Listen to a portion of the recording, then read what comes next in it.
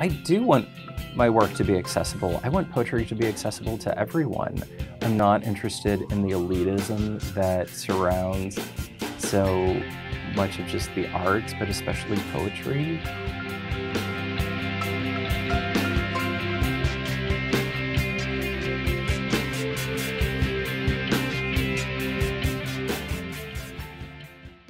Your most um, recent book is A Quilt for David. Uh, it was published by City Lights in San Francisco, and the book is based on the life of uh, a dentist, David Acker, um, who in 1990 was accused of infecting his patients, or some of his patients, with HIV. Mm -hmm. The case uh, generated a lot of uh, media attention. One of the most vocal patients, uh, Kimberly Bergalis, ended up uh, testifying before Congress you were in eighth grade when, uh, when these events happened. Uh, did you know about this case at that age, or when did you first learn about uh, David Acker? David Acer. Acer, actually. Acer. David Acer. Yeah, David Acer. I was in the eighth grade, and after school, I would watch a show called A Current Affair and another show called Inside Edition, which were these like tabloid media shows. Um, that were popular at the time, kind of like TMZ, but without celebrities. And uh, Kimberly was on it quite often. When you have a diagnosis of AIDS, it doesn't mean that you're going to die. Um, it just means that you're faced with a challenge, you know, a challenge to, to live each day. It was such a scary thing to see in the eighth grade um, as I was kind of coming to terms with, you know, kind of knowing that I was gay, and at that time, being gay meant automatically that you had an AIDS sentence, you know, that you were just bound to, to get AIDS. And so that's what I thought was ahead of me in the future. And when did you have like an interest to, to take this story and make it into a book? When did that happen? For 10 years, I worked as an HIV test counselor and educator. So, and I did that in the state of Florida and in the state of California. I, because sorry, this case happened in Florida. yeah, this case happened in Florida. Okay. And one of my best friends died of AIDS-related illness, and towards the end of his life, I tried to be his caregiver, and I was way too young and couldn't handle it at the time. And soon after that, I think I just kind of felt like, um, you know, the what is it like the safest part, you know, being in the eye of the storm is actually the safest, the safest place. place. Yeah. And so I then worked in the HIV field. And so after being in the field for a while, I, I then moved to California and I started thinking about this case. You know, after knowing so much about HIV mm -hmm. transmission and giving presentations at, natural, at national conferences, I thought, like, what did really happen in that dental office? And so I started researching it, and I was really surprised at the homophobia and AIDS phobia that was just saturated in everything that I read about this case. And so, just out of natural curiosity, I started to investigate. You started in uh, 2008, the, the research process, and then in 2012, you ran an ad in a local paper in Florida uh, looking for people that knew uh, David. This uh, could be an example of uh, investigative journalism, but I think you call it um, investigative poetry because with all the data you collected, you didn't write a journalistic piece, you wrote a poetry book, uh, a quilt for, for David. What I didn't want to do is create like Wikipedia entries with line breaks. You know, I, I, I wanted it to be factual but also interesting. Yeah. One of the reasons that having a factual piece of work was important is that this case was already loaded with so much misinformation that I didn't want to add to it. So I don't really take poetic license or fictionalize anything or have any of my own like musings that are a part of it. I just wanted that if you read a detail in the book, for the reader to know that that's a detail I encountered through my own research through whether it was the uh, personal interviews from the mm-hmm. people I talked to with the ad in the paper or things that I had read. Why don't we um, listen to a couple of uh, samples from the book? There are no titles in the poems, it's like a one big piece, but the first line or the, the opening line is a patient said you, and then the other one is educated to heal. A patient said you weren't talkative but nice. You would go out of your way to save her office copies of People magazine. Eight months after your death, the weekly magazine's headline was about you. Educated to heal, to provide comfort, to treat injuries of the mouth, there was one you couldn't handle the sole KS sore on the roof of your mouth. Soon there were four. On an evening in May, you carried a dental accarterary home, an electric device that cauterizes wounds. In the dimly lit bathroom mirror, you used it to singe your palate. Red hot electrical heat on wet tissue, repeated the procedure, burning each lesion. Dentist, heal thyself. Something that was surprising to me as a reader is that there's a lot of um, uh, information from the um, from the uh, patients. You know, they they gave the positions, but there is very little from the dentist. I think you uh, you have in the book or in the preface like eight lines or, or that he, he wrote from his uh, hospice uh, bed, and that's all. Uh, that's all the voice we have of him. Yes, and that's all that I could find. Um, that's incredible.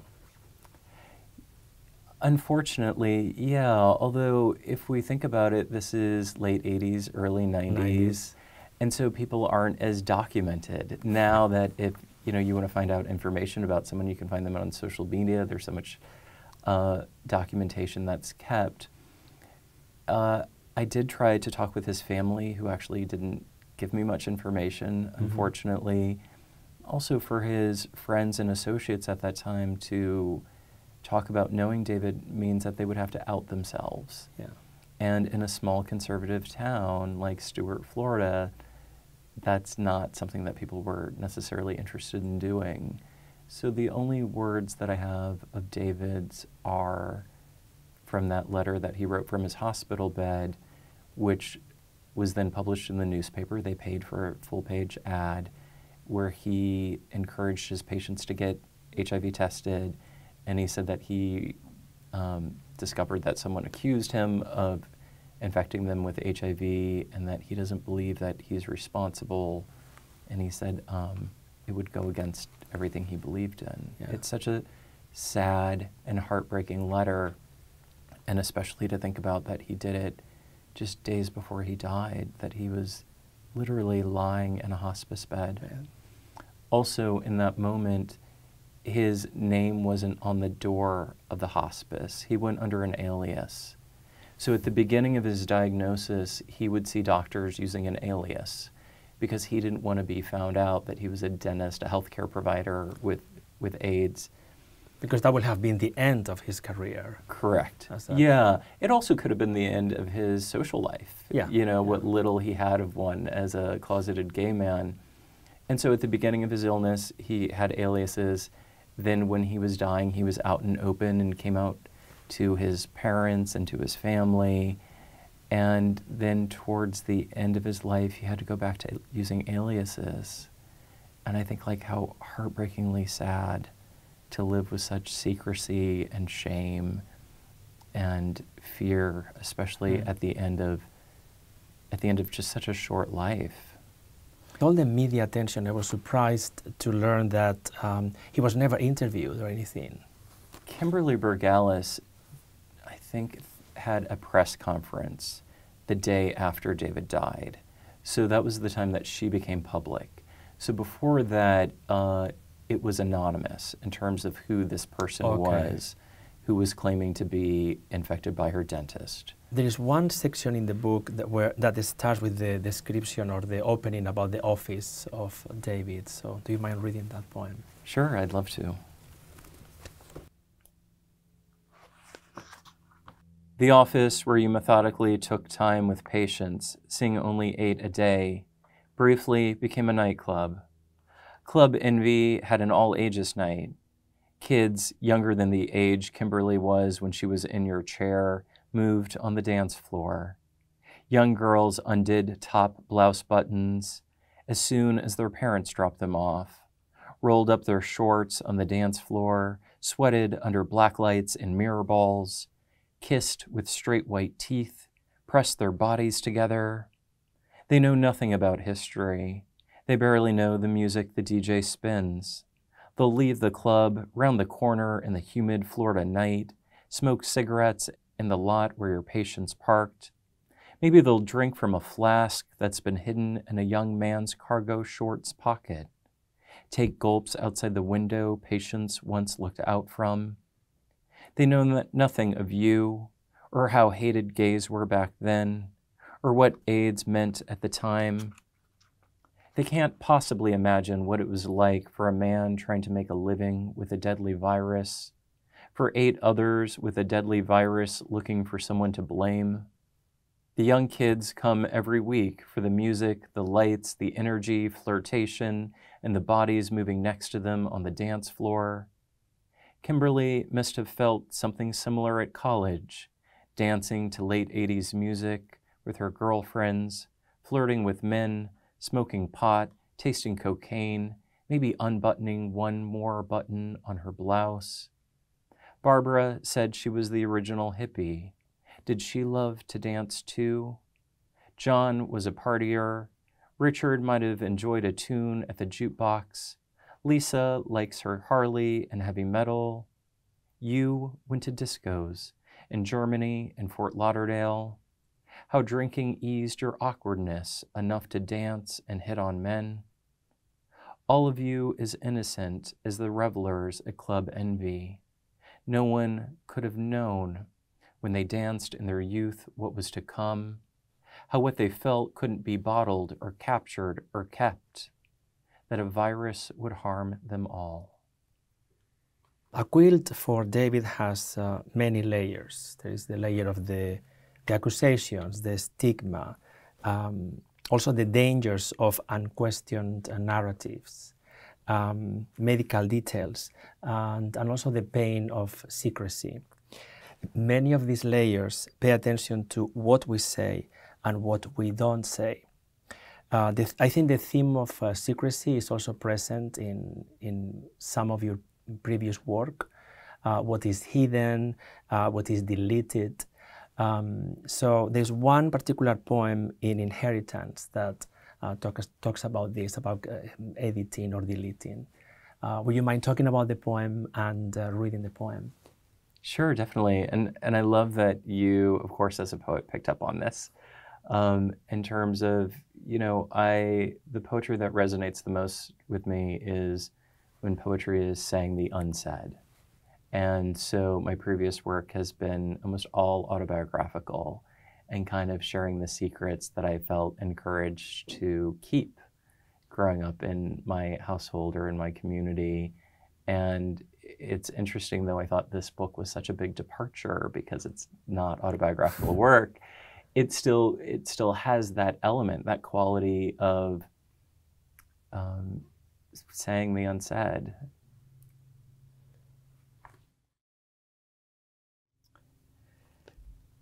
So this has um, this poem is called Auden's Edit, but it also has a note for those who don't know that um, after the first printing of the war poem, September 1st, 1939, Auden decided that it was trash, and rereading the line, we must love one another or die, he said, well, that's a damn lie.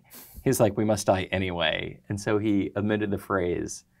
And uh, that was really captivating to me. So that was the inspiration for this poem. I wonder why he omitted it, the omitted line more powerful than the entire poem. A gem published fully after his death, and engulfs the other words, lines, stanzas.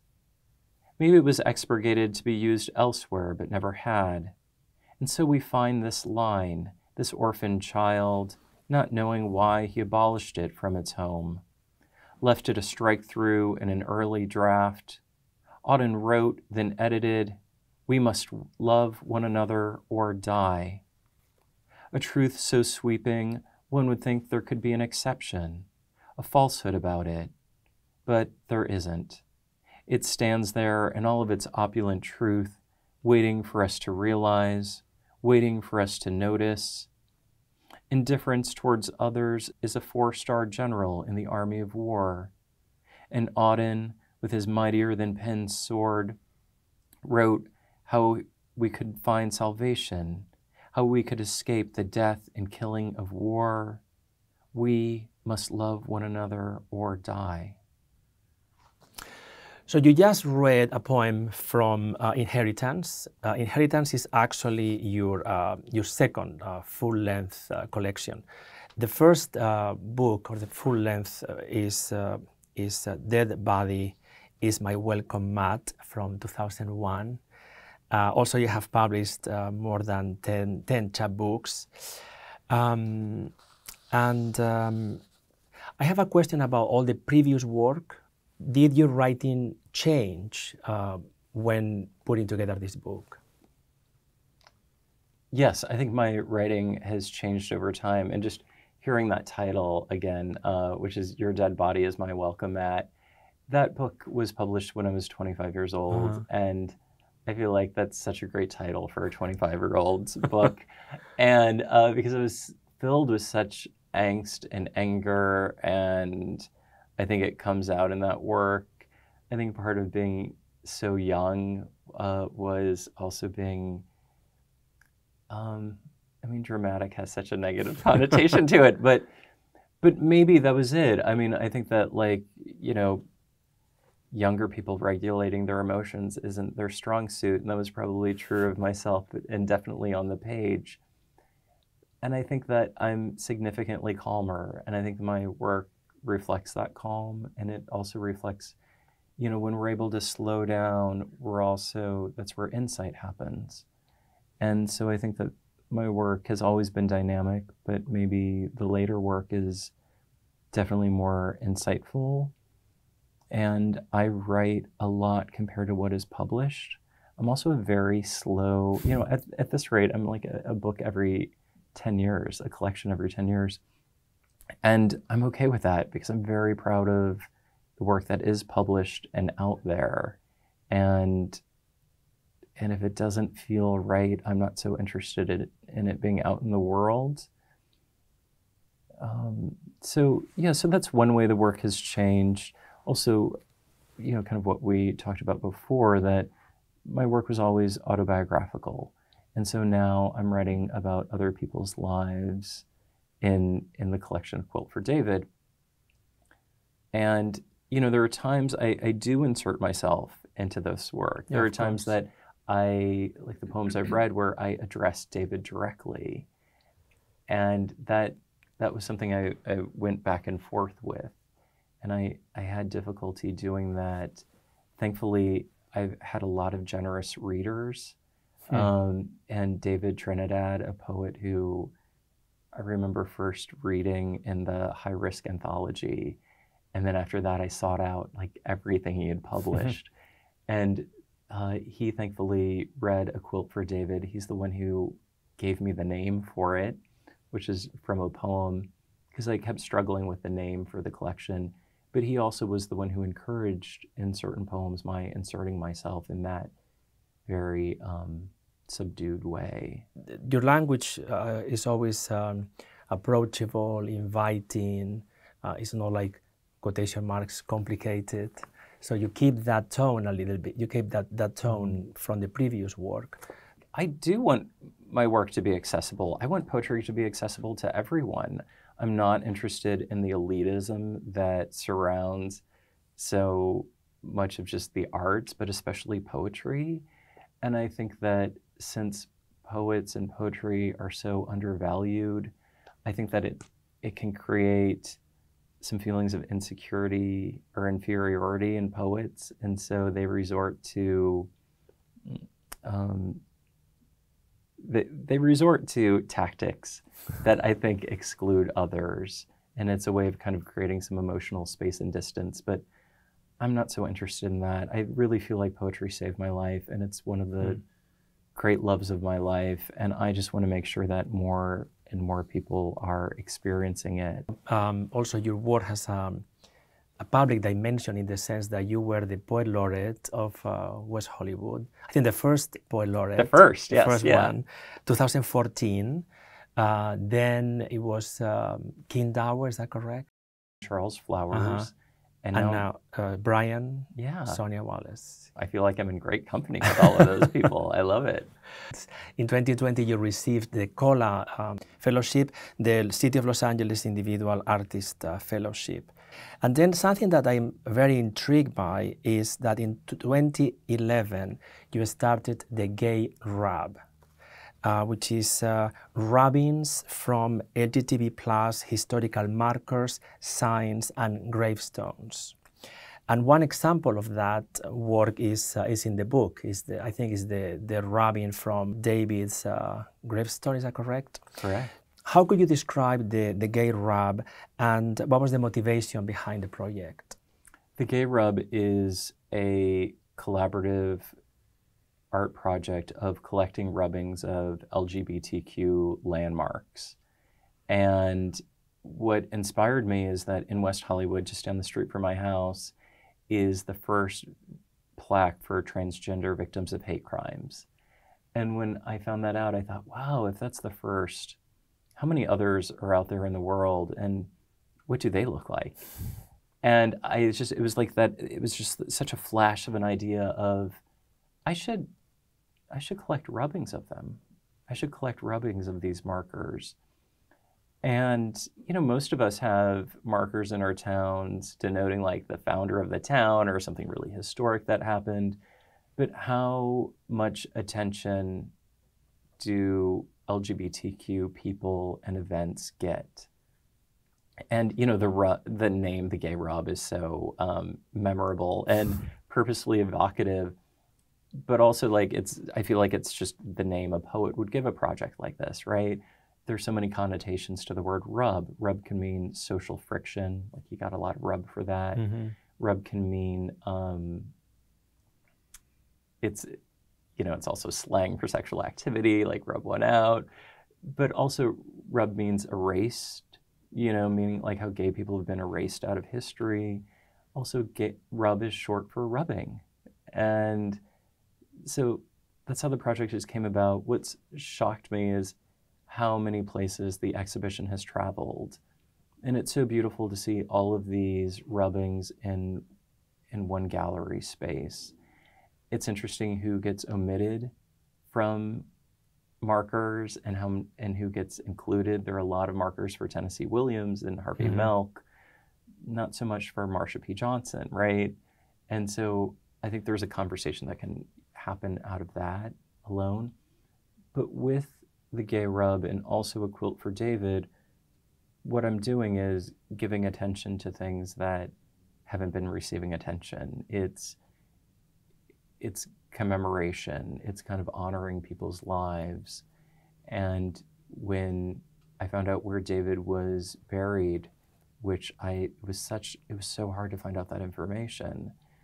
I I then brought my rubbing supplies, and so um, I did a rubbing of his grave marker, and that an image of that is in the book. Two years, 10 months, and 29 days from diagnosis to death. David kept practicing, retired at 40 to die. From diagnosis to death, was scared of small town rumors and small town mentality. Retired at 40 to die. He used an alias at doctor's offices hours away from his home. Was scared of small town rumors and small town mentality. David said hiding his diagnosis was lonely and isolating. He used an alias at doctor's office hours away from his home. Kimberly, secretly sexually active, points her finger at David. David said hiding his diagnosis was lonely and isolating. She pointed her finger at him. From diagnosis to death was two years, 10 months, and 29 days. Uh, you conducted uh, the first autobiographical poetry workshop for LGBT plus seniors. Uh, and then I think as, I don't know if it was a culmination of the project. Uh, it was this this book, My Life is Poetry. Could you talk a little bit about this about this anthology? Yeah, I the anthology came from the workshops, and it was that anthology actually came out the first year the workshops happened, and it's gone on now for I think about 16 years that I've been teaching LGBTQ elders. And, you know, I had, I'd actually taught workshops for LGBTQ youth groups around the country. And I had some experiences, and it made me think about our elders. And as the baby boomer generation was getting older, I thought, like, we're in such a youth worshiping culture that what, you know, I was really interested in their stories also, as we age, um, that affects our energy level, our physicality, and you know the task of writing a complete memoir is quite a challenge. But you know, a poetry, if you know, if we if we do a, a poem well, you know, all we need is that that thin slice yeah, of yeah. cake, and we know what the rest of the cake tastes like. And so that's what I that's why I wanted it to be autobiographical poetry that I wanted them to write from their experiences. And there's also, you know, as we get older, I think it's very rewarding to look back and reflect on our lives. You also can create a, a different narrative or one that's a little bit more digestible. Hmm. And and also I think it's great that these stories get to be shared with others. Because if you think about the media, how often do we truly hear from LGBTQ elders? Let's um, hear the poem that includes the, the word quilt that also appears in the, in the title. I'd sew a quilt for you. I would grab a needle, put the thread in my mouth, moisten the fibers together. I'd pierce into the eye. I'd hem, backstitch, side stitch a remembrance of you. I put your name in large letters, wanting no one to forget that you died of it too. I'd sew you into that larger quilt because no one else has. I'd select patterns, design a quilt representing your lifelong loves. Kimberly has four panels, photos, and a large starfish. I'd sew for you, thimble on my thumb. I'd push the threaded needle through the fabric. If I'd prick my finger and bleed, I wouldn't regret a single drop of blood or effort. Thank you, Steven. Thank you very Thank much for having much. me.